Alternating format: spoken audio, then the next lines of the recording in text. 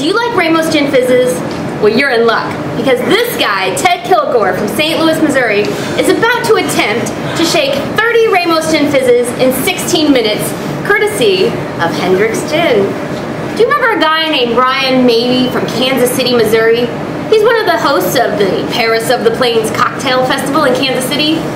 Yeah, he came up with this idea for a Ramos Gin shake-off, show me showdown, four minutes a break, four minutes a break. Well, no, no, no. This guy, Ted Kilgore, 16 minutes, no breaks, 30 Ramos Gin Fizzes. Bring it on. We'll see you guys at Paris of the Plains.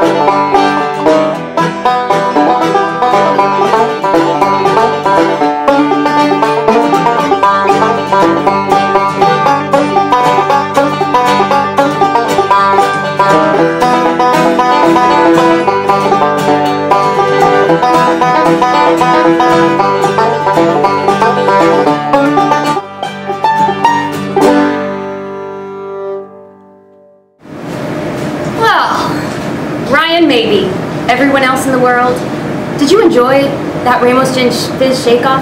I'm enjoying this Ramos Gin Fizz right now. Mmm. Ted, how many Ramos Gin Fizzes did you shake in 16 minutes? 35 Ramos Gin Fizz with perfectly erect straws, 16 minutes. What do you got, Kansas City?